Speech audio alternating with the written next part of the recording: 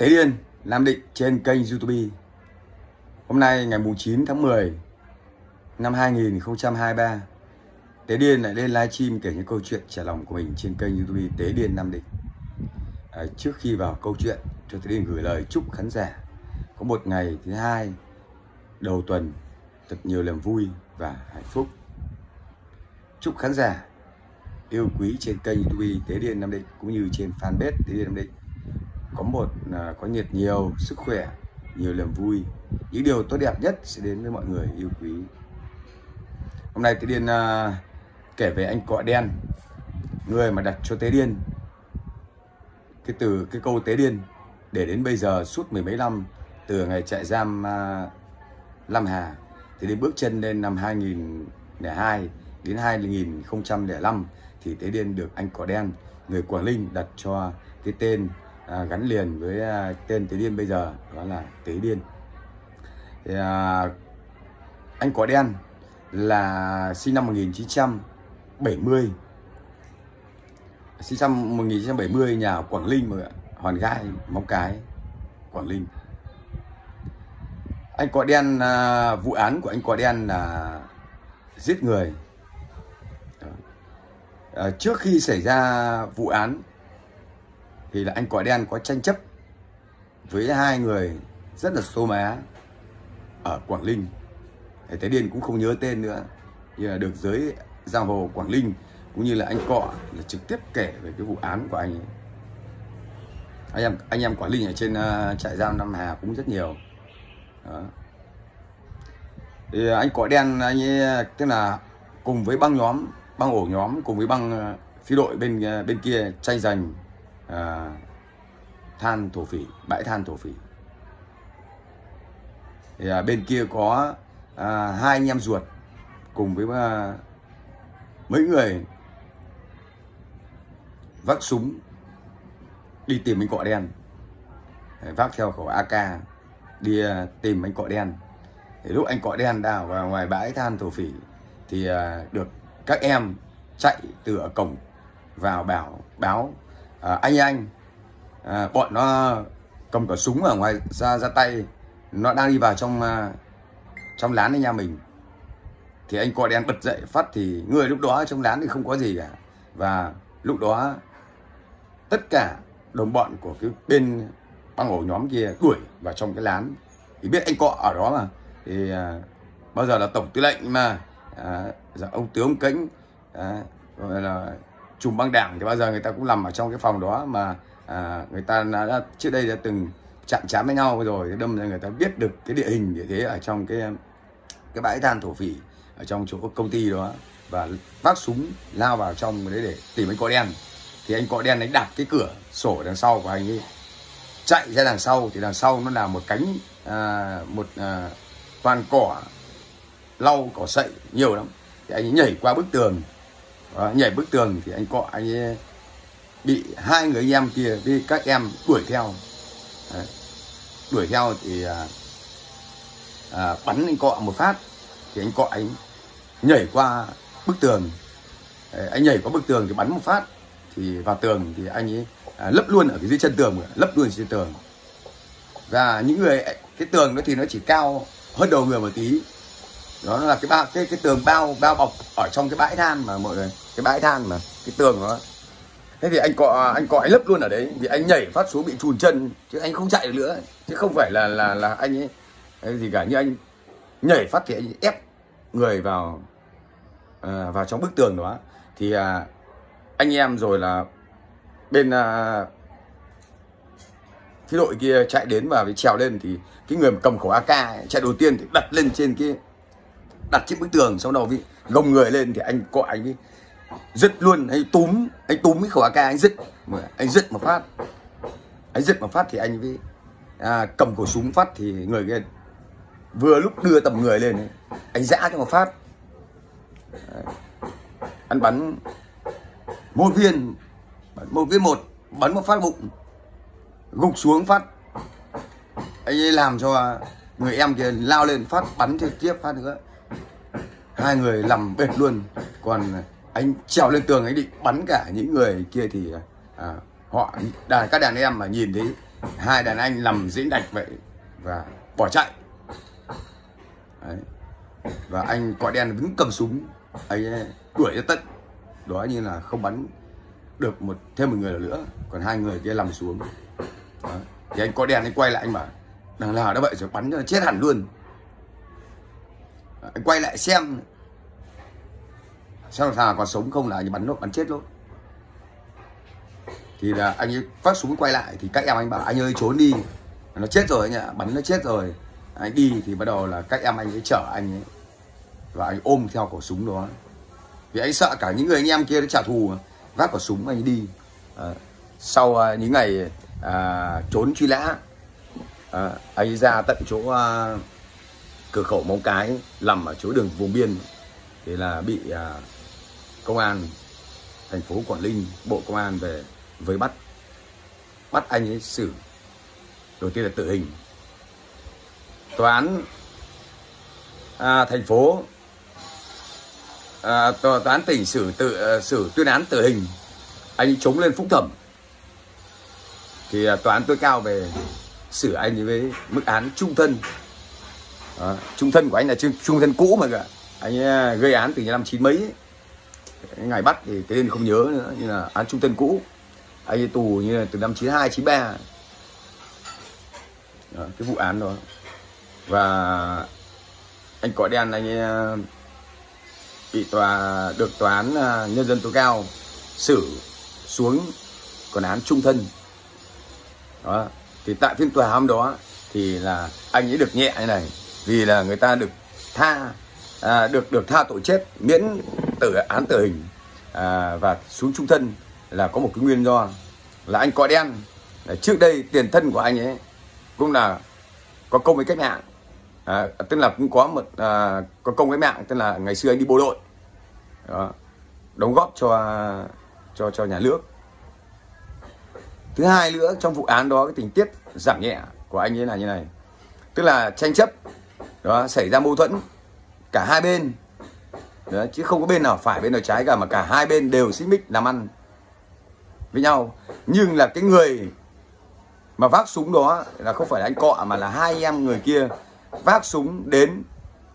Đó thì tòa người ta sẽ xử người ta uh, cho hai gia đình nhà kia là hai anh em nhà kia là đã có ý bàn bạc và vác súng đi với mục đích là à, cướp đi mạng sống của anh cọ vì là cầm súng đi thì chỉ mục đích là giết người chứ không thể à, cầm dao thì có thể là bảo đâm chém thì à, dọa ai nào chứ còn đã, đã cầm súng thì nó là tính chất khác rồi.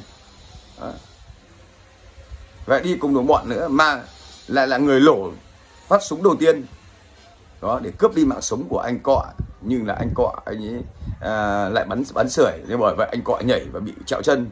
Và anh cọ à, tình tiết thứ hai nữa là rất nhẹ nữa là tình tiết thứ hai là khi mà à, anh ấy bị ngã như vậy và không có đường chạy nữa bắt buộc phải vô lại súng và để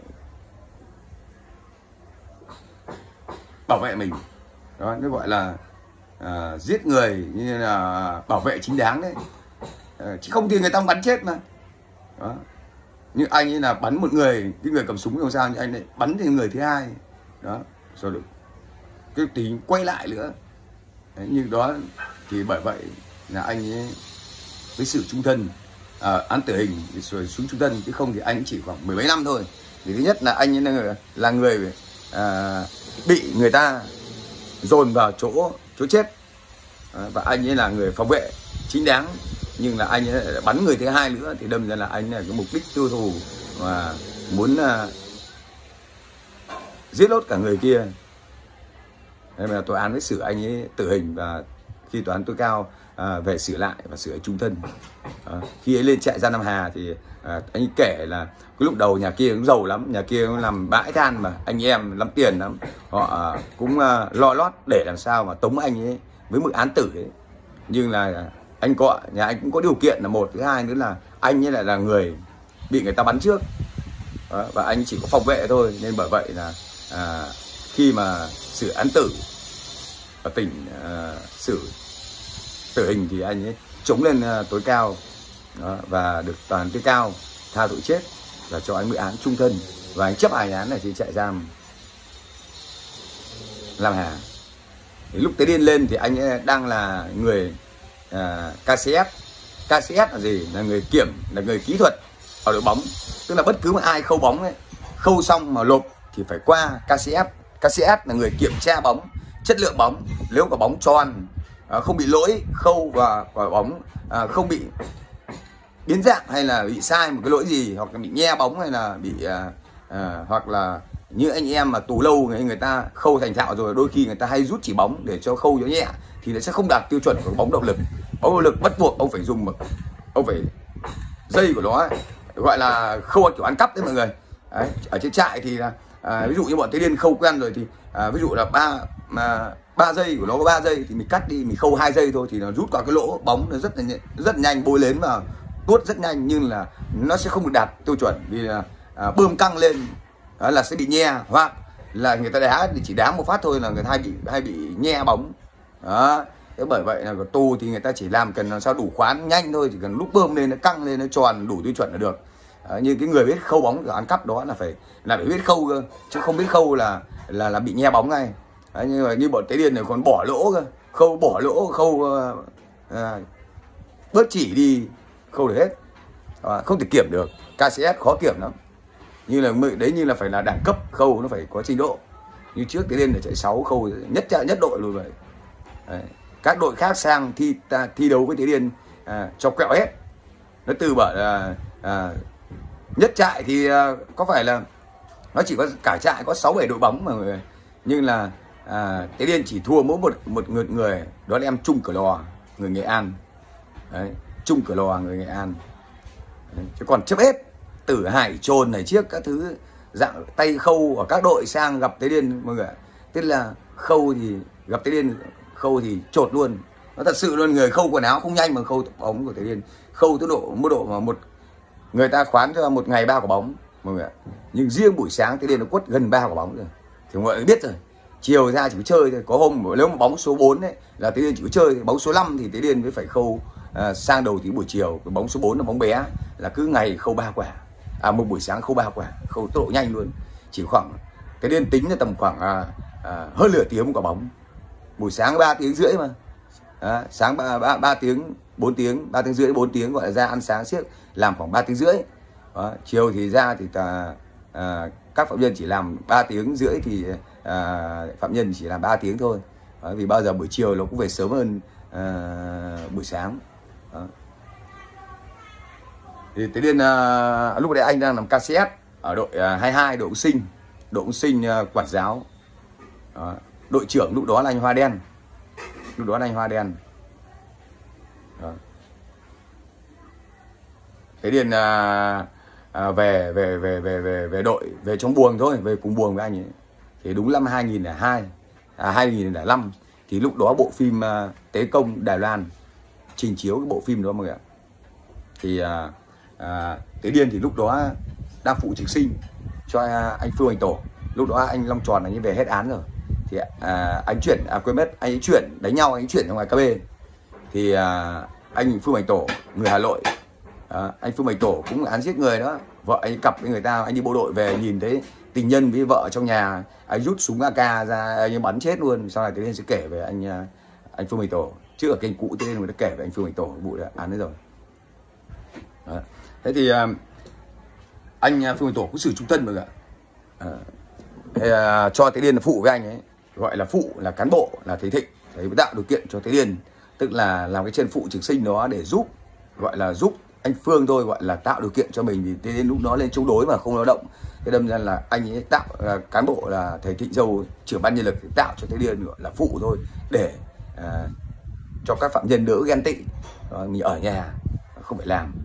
Đó. một ngày thế điền chỉ có quét cái sân cái sân cái sân sân trại cái sân trại mất 15 phút chiều 15 phút nên là nghỉ cả ngày chỉ ăn tập tạ thôi mà.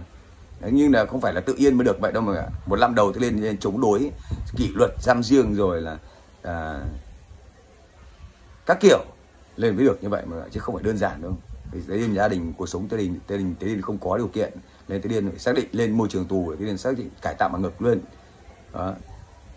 vì không có sự lựa chọn gia đình thế điên không có. Đó. thứ hai nữa là thế điên cũng không bao giờ đi tù đòi hỏi bố mẹ vợ con phải lo cho mình. Thế nên nói thật luôn kể cả vào trong nhà tù kể cả khổ kể cả bị chúng nó tiêu diệt nhưng thế Điên không bao giờ gia đình cho cái gì thì hưởng như vậy. Không bao giờ ép bố mẹ vì bố mẹ có quá đâu. Bố mẹ có thế nghèo có quá đâu. Đấy, vợ thì bây giờ một lách hai con nuôi như vậy tới điên đi à, nhà tù Đấy, vợ con còn phải Ờ, bán cả nhà đi rồi là còn phải đi vay mượn, đi tắc tế, thăm nuôi cho thế điên thì thế điên làm sao mà, nên bản thân thế điên có trong sự suy nghĩ từ lúc bé đi vào nhà tù, thế điên cũng đã xác định gia đình không có điều kiện nên mình xác định là mình khôn thì anh em yêu quý. Còn nếu mà mình không gặp anh, gặp em thì xác nhận mình xác nhận khổ khổ mình không kêu, cũng không hành gia đình bố mẹ nữa. Thế là con người thế lúc đó ờ, ở VTV3 mọi người đang trình chiếu bộ phim Tế Công Đài Loan chiếu. Thì Tế Điền Phụ Trực Sinh thì ở trên trại thì mọi người biết rồi hai đội cái lón trên trại thì ngày hai cán bộ ban thị cứ mùa hè người ta phát cho trại là những cái một cái cái cái cái cái, cái, cái, cái mũ mũ mũ lá đấy mọi người mũ lá đấy. Cái mũ lá như mũ cối như là nó bằng lá nó ở lá lón đội lón của phụ nữ ấy mọi người đàn bà thì người ta phát lón còn đàn ông thì à, phạm nhân lam thì người ta sẽ phát mũ lá đó. Thế thì tế điên cứ à, óc cái cái cái viền nó ra ấy, để nó tu tu tu lưa rua, xong rồi ở nhà thì mới biết là suốt ngày mặc còn đùi. Đấy. cái cái cái áo cứ ngồi ờ, quét quét sân một tí. Thì anh cọ thì anh ấy KCS mà, anh cũng rảnh rỗi suốt mà anh ấy làm ở trong trong trại. Vì là có ba đội là khâu bóng trong trại, còn tất cả xuất ra ngoài ngoài trại. Mà đội trong trại thì mọi người hơi tí, người ta lại về buồn người ta chơi mà, ở trong trại mà. Đấy, thì à, anh người ta lại ví dụ người ta khát nước người ta lại về buồng người ta uống nước hoặc người ta làm cái gì muốn ăn bát mì hay là à, đun nước à, nấu chè ấm chè thì người ta có thể về về khu người ta đun cho người ta mang ra ra xưởng ra phân xưởng ở trong trong đấy. Đó. Đấy là anh về các bạn à thế trông mày như cả ông tế công thì lúc đó bộ phim đang hot mà. Thế ông ấy nhìn anh cọ anh nhìn tế điên đấy mũ thì đội loán lan rách cứ quét là xong rồi cái điên thì lại hay bắn nhắng lên trại hay trêu các anh mà. Anh cọ anh cọ đen lại về thì cái điên ngày xưa thì lại quyện anh cọ. Đấy, vì anh em ở trong buồng quyết quý cái điên anh cọ thì lúc đó là anh nuôi chim mà anh dạy chim mà anh lột lưỡi chim cho trại nhất trại luôn đấy. Anh nuôi chim khôn lắm mà quạ rồi à, anh nuôi chim sáo ấy. Sáo rồi các thứ là trào mèo khôn lắm. Ở trên trại thì mọi người biết rồi anh em người ta nuôi chim người ta không cần phải lồng. Mà lấy đâu ra lồng? À, Thế nên là người ta toàn nuôi bo luôn. Đấy. chỉ có một hai chỗ điều kiện có tiếng nói trong trại giam người ta ra xin cán bộ người ta thăm gặp người ta mang lồng vào chứ còn thì uh, dân hoặc là nhân nhân dân thì lấy đâu ra uh, lồng. Thế đâm ra người ta nuôi từ bé nuôi những con sáo từ bé đỏ hòn mọi người này. Xong rồi người ta mớm nước dãi cho ăn để cho nó quen uh, hơi để nó đỡ bay đi. Người ta nuôi nó nếu lúc lớn nên nó khôn lắm. Thả ra toàn ngủ ở trên cái dây phơi hoặc nó rút vào trong trong màn nó ngủ mình. Đấy, nó khôn lắm. Sáo nói như người luôn. Đấy, chào màu thì khôn lắm không được chỉ còn húi à lan ơi hay là hà ơi hay là quỳnh ơi chẳng hạn nó bay vù vù vù vào mình cái đậu vai ấy, nó xong là ăn xong lại bay đi. Đó, à, anh cọ anh nuôi chim mà anh nuôi chim nhất trại luôn. Đó. Tất cả những anh em mà mua sáo làm sáo mà muốn sáo nói đấy là muốn bóc lưỡi là phải nhờ anh ấy. Anh ấy bóc lưỡi sáo để giao nói được. Thế anh ấy chiêu tế điên như vậy. À, từ, à, từ đó tế điên mới được cái à, tế điên anh bảo là mày trông như ông tế công ấy. Đó thế lắm lúc thì à, đầu tiên là gọi là tế công. Đó. thế vì sao à, tế công? Đó, như là vì sau này thì à, tế điên bầy nhầy cán bộ đấy. À, rồi suốt ngày à, trêu chiếc cán bộ à, thì à, à, cán bộ các bạn bố cái thằng điên này. Thế là anh anh tế anh, anh cọ anh ấy gọi là ô thằng tế điên mày đúng thằng tế điên chứ không phải ông tế công nữa. Thế từ đó tế điên được anh em chạy ra năm hà. À, đầu tiên anh cọ là người đặt cho tế điên cái từ tế điên và sau này anh em chạy giam Nam Hà suốt 8 năm ở đó anh em mà ta lên người ta gọi bằng từ tế điên. Là bởi vậy người ta không gọi tên là thùy nữa. Khi về hết án thì là tế điên sống nhà tù nhiều mà. Thế đâm ra về xã hội eh, toàn gặp anh gặp em trong tù hết. Thế đâm ra người ta cứ gọi vậy. Thế là cứ quen đi. À, cứ quen đi.